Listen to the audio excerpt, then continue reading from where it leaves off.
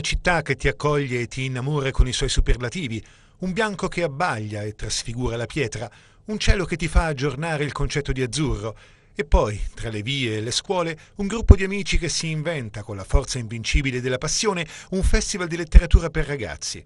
Sommate i fattori e troverete Trani coi suoi Dialokids, edizione 2017, dove, per dirne solo una, puoi incontrare un grande autore come Nino Ferrara, eccolo un altro superlativo, che insegna ai suoi alunni lettori una capacità per nulla scontata. L'ambizione è addirittura quella di far adoperare la scrittura ai bambini e ai ragazzi come forma principe di educazione sentimentale. Tu pensa un po' a cosa ci inventiamo. Quindi l'idea è far usare loro lettura e scrittura per imparare a nominare e a condividere le emozioni.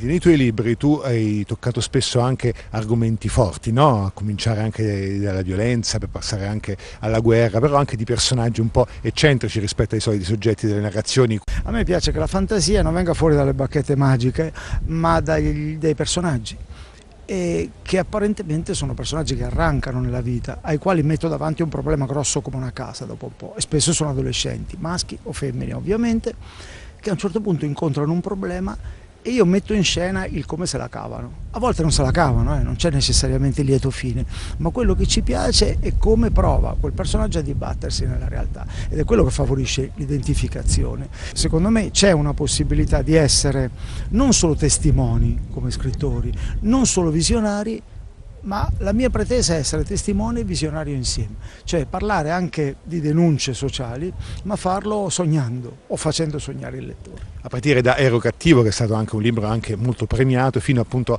a libri che trattano anche proprio vicino al problema della guerra. Ecco, quando i ragazzi sono di fronte a un testo del genere, tu hai visto la loro reazione? Sì, ho visto che poi eh, diventano eh, affascinati da quella narrazione, purché la narrazione non sia, eh, adesso dico un'aberrazione in presenza tua, non sia puro giornalismo, nel senso che ovviamente ai bambini non può, ah ma non lo dicevo, non lo dico io, lo diceva anche un certo, un certo Pierpaolo Pasolini, non so se avete mai sentito, Pierpaolo Pasolini diceva già ai suoi tempi che non era più possibile raccontare la cronaca e la storia non solo ai ragazzi, lui diceva persino agli adulti con la modalità giornalistica o da storico. Diceva servono soprattutto per i ragazzi delle storie trasversali. Lui le chiamava pazzerelle, che appunto beccassero, quello che provo a fare io nel mio piccolo ci mancherebbe, che beccassero i ragazzini e le ragazzine ovviamente qui e qui, per poi portarli qui. E quanto è pazzarello Nino Ferrara?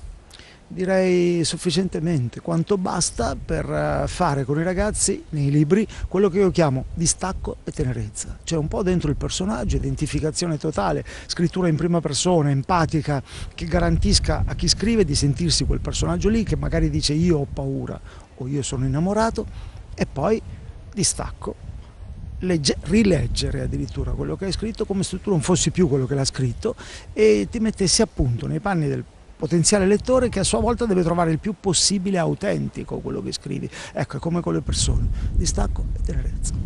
Costantino, ti farei un applauso, ma perché non ti meriti un applauso? Facciamo un applauso al nostro...